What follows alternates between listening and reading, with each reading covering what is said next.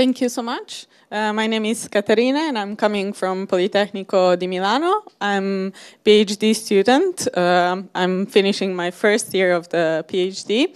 And uh, today I will talk about fast insight about the severity of hurricane impact with spatial analysis of Twitter posts. And uh, this presentation will be more like from the part of a user, not that much from like developer. Uh, since I'm very new in this uh, area. Uh, my background is environmental engineer, and I'm more focused on the risk mitigation and so on.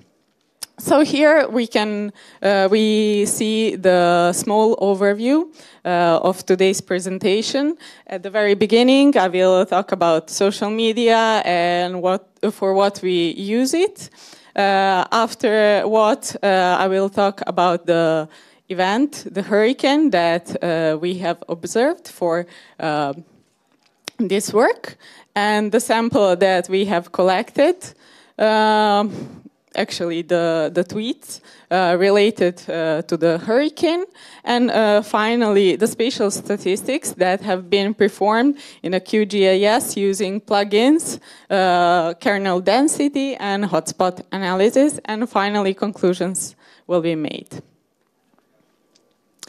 So, social media in everyday life.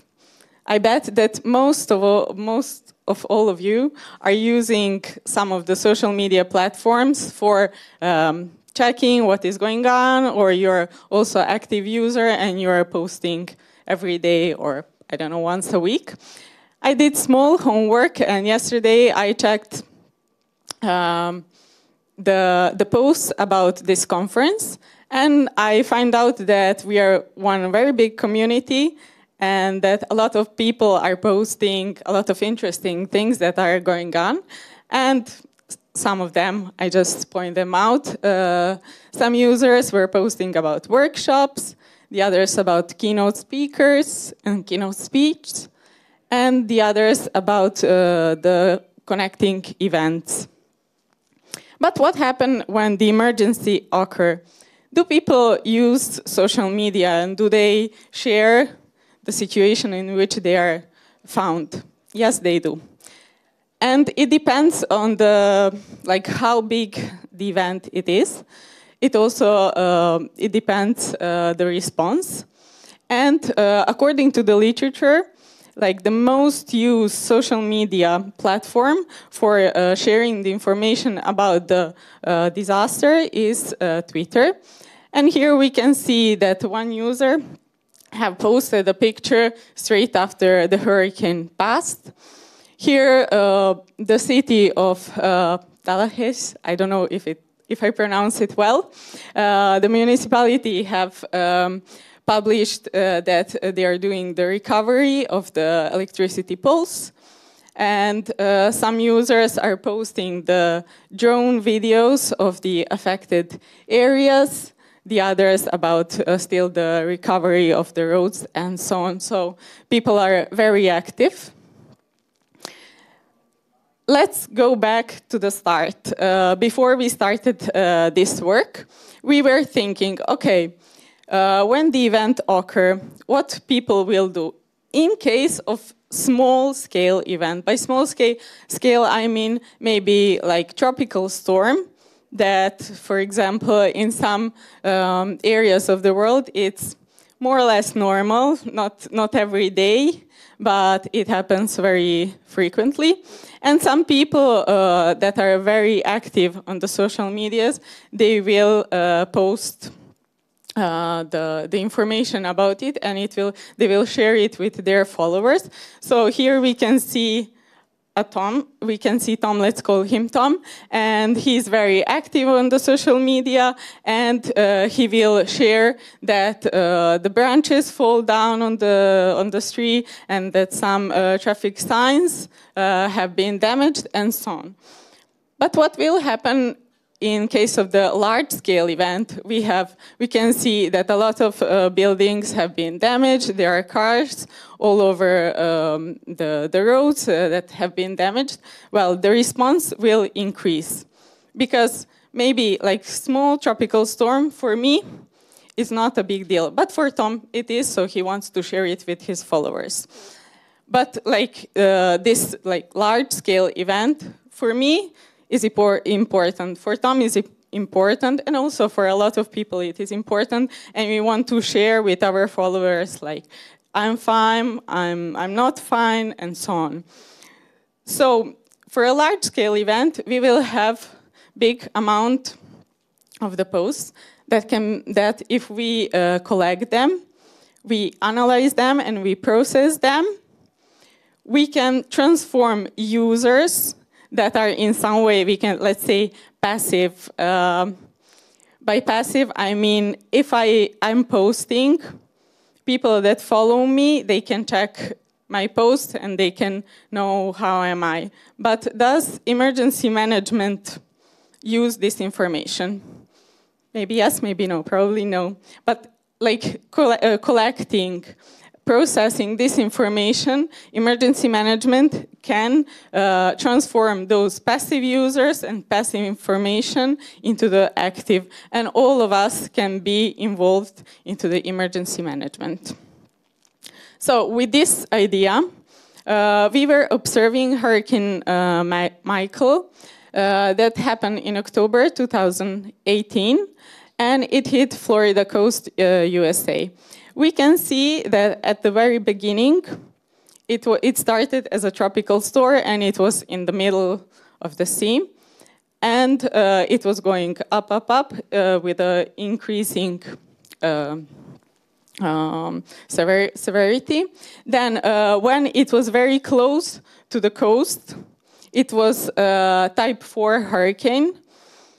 And when it hit uh, the coast, it was like the strongest still type 4, 4 hurricane, after what its intensity decreased. So luckily, the most part of the land was not hit by the, the highest intensity of the hurricane, just uh, the first uh, part of the coast.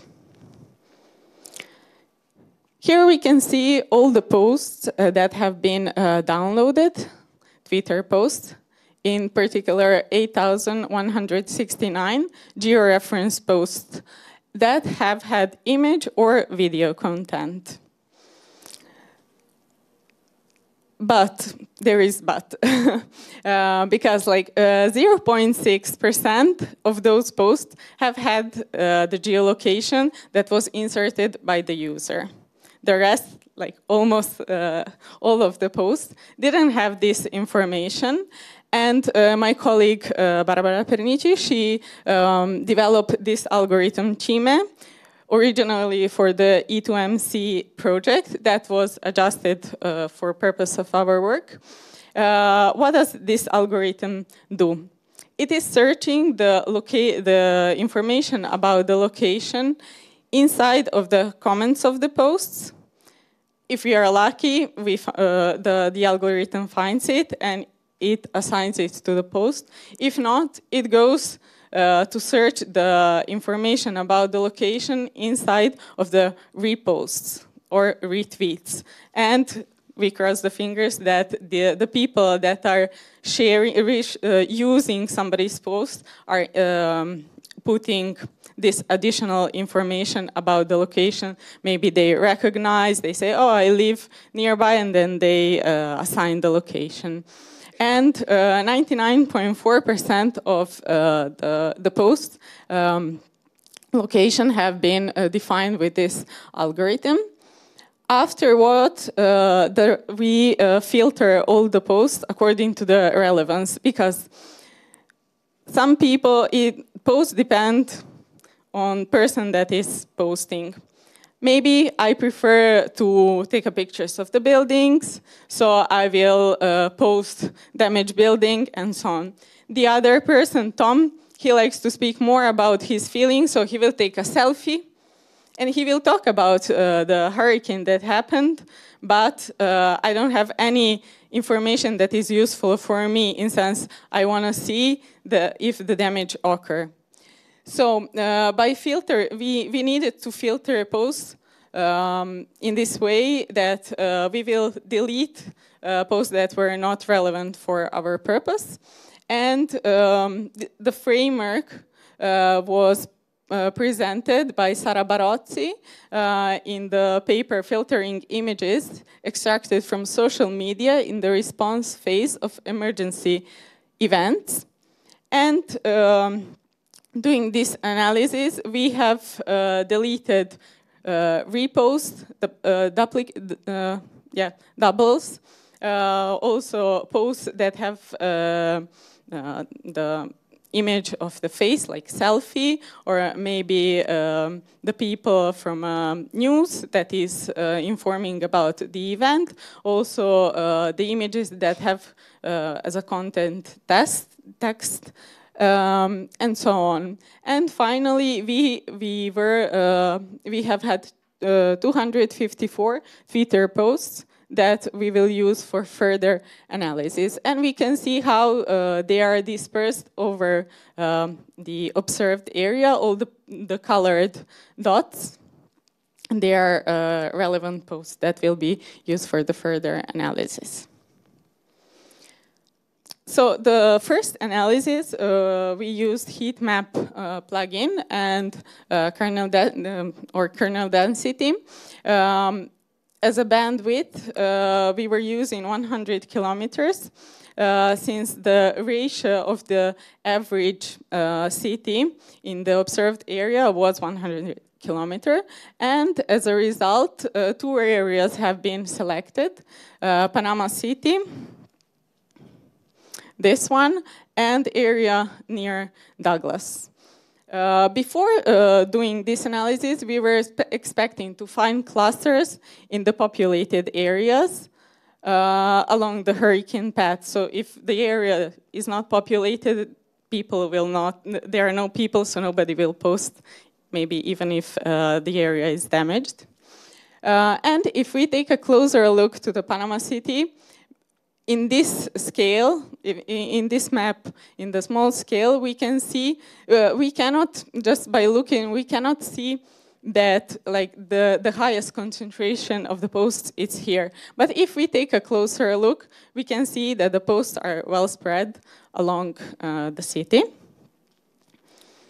So I said uh, our, we were expected to find clusters in populated areas comparing like uh, two areas that have been uh, detected uh, by this analysis, we can see that Panama City is uh, uh, well, po uh, very populated, and the area near Douglas it has very small, very small population per square kilometer. So something is not good.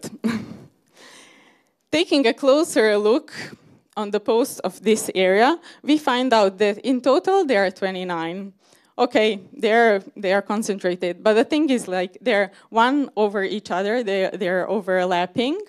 And going more deep uh, into the analysis, we find out that all of the posts have been posted from uh, different broadcasting companies. So must be that the algorithm was assigning this location um, to, the, uh, to, those posts that have been um, posted by the broadcasting companies. So uh, let's, we, we can say that uh, this area, even though it is high, highly concentrated, it is uh, wrong, and we will see uh, more forward. Uh, so the second idea is like, okay, in the first analysis, we were considering only spatial analysis, like uh, how the posts, their distribution in the space. And what will happen if we also take into the consider consideration the time when the posts have been posted, in particular, the day of posting. So we use the hotspot analysis plugin that have been um, um, developed by Daniel Oxoli, that is here uh, with us. And uh, more information about this plugin in, in, details, it is possible to see uh, to find out in uh, his uh, published work. but um, performing this analysis, um, I don't know how familiar you are with this analysis. Uh, most of the people are uh, trying, when they do this analysis, they are looking hotspots. We did a bit, mm, a bit different thing. Uh, we were looking for cold spots because uh, cold spot was showing us the posts that are concentrated one to each other and uh, that are uh, that have been published at the early stage of the event. So we have had like uh, almost real time informing about uh, the situation, and uh, this analysis point out this area that is Panama City area, and the the second area that have been mark with the previous analysis is no, uh, not more present. So we can say that uh, this analysis is more uh, suitable for our um, work.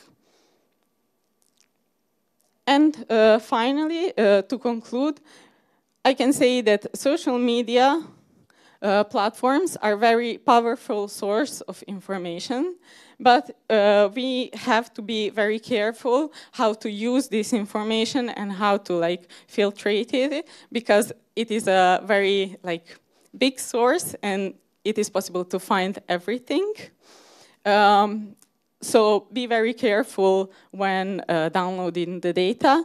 And as we saw, uh, also the parameters, parameters that are inside of the metadata of uh, your data set, uh, the high attention should be paid um, because uh, mm, the analysis result depends a lot on the selected parameters and in most of the, the analysis.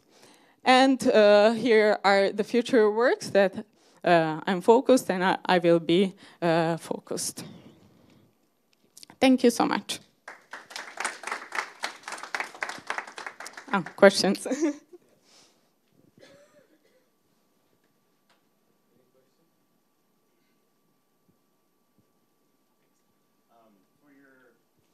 Yeah. For your uh, future work, you notice you I noticed you were going to try to correlate it with actual damage. Um, where are you planning on getting that from? Because um, I know FEMA produces it for the U.S. in this scenario, um, I don't know if you're going to get that. In, which, in which, can you explain me a bit more uh, your your question? Like from, I, if I understood well, the damage from information from where I will uh, take them. No. Right. Correct.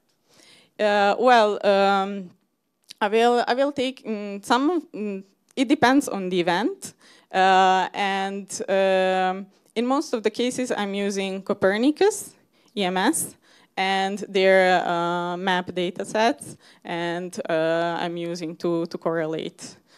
Okay, uh, for I just wanted to share, we can maybe talk after. Yeah, yeah, but, yeah, sure. But for Michael, for instance, uh, FEMA has a, an open data set for historical damage assessment, structure by structure. Oh, okay. um, I built it, so I can Oh, okay, that's nice. so definitely we will talk after, thanks.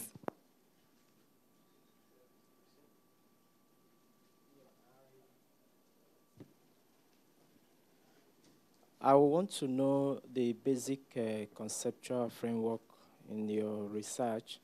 And then uh, you talked about uh, uh georeference tweets. Uh, uh, did you take care of maybe the tweets outside the zone? you mentioned about 800 and is it 8,000 thereabouts? So how many of those tweets are within the, the zone and then outside? Uh, okay, so um, when we were collecting those tweets, the first like uh, 8,169 were downloaded uh, based on the hashtag and keywords. Uh, without knowing if they have like inserted ge uh, defined geolocation or not. Uh, and then after, so it was much more than 8,000, okay? And then, uh, I, as I told, like only 0.6% have had uh, geolocation already inserted, and the rest uh, was uh, found by the, the algorithm that have been developed by my colleague.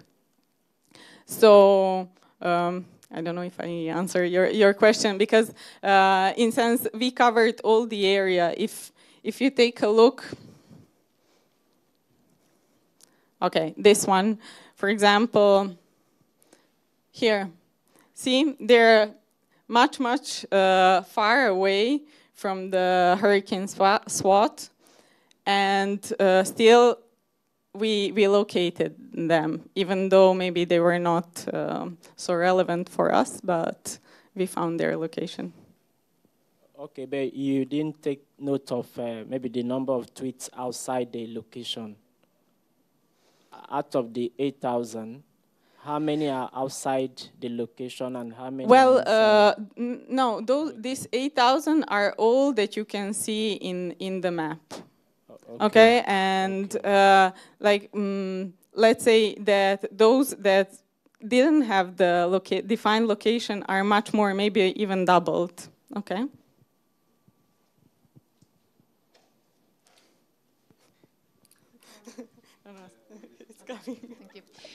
Do you have thoughts about how using tweets with no georeference? Maybe in the text they, they talk about the place is there a way, or do you think about a way to take advantage of that? Um, yes and no. uh, in in sense, uh, uh, if if the the we, we didn't do the semantic analysis that much, and we were not focused on the semantic uh, analysis and taking the, the information. But um, as far since at the end there are not a lot, there are just 254, and I guarantee if you trust me, if you if you trust me, like I did, I, I check one by one because at the at the end if you go if you go to check the the framework for uh, relevance filtering, there is a part like automatic part and then crowd a crowdsourcing part.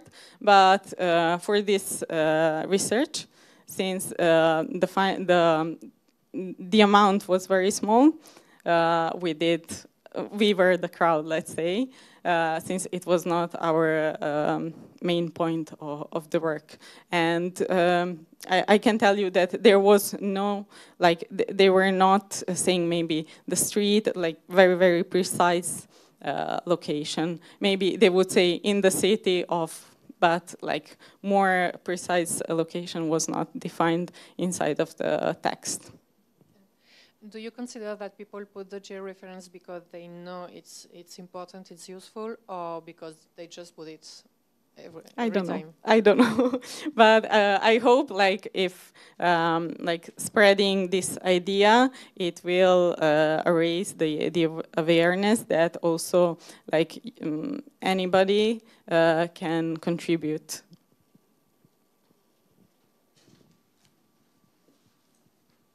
Hi, I'm Ramona Pelich from Luxembourg, and I have a question uh, which is related to the one before. So the precision of the geolocation, do you think, I don't know, it's about five, can it be about five, 20 meters? Because I'm working with flood mapping in bare soil, but also urban areas with Copernicus data, and that's the results we have. And I would like, because we would like to compare this with uh, your results from uh, social media data. Well, well, for this particular case, I I didn't check uh, that that much in deep, like the, the precision. But for another case that was flood in UK, uh, I did it, and I have to say that um, it differs from place to place. Uh, and also like type of uh, the the urban area, like if it is a big city or a smaller city. Yeah, but let's say that in, in, that case the precision was like um, about uh, two meters that's great because we have, like, for example, some results not from this area, but from Hurricane Harvey in uh, 2017 that affected quite a lot Houston in the U.S. So, would be nice to compare this kind of yeah, um, definitely. results. Thank you. Thank you. I had the last question, but time is running out. I will ask uh, separately. So, thank you very much. Thank you.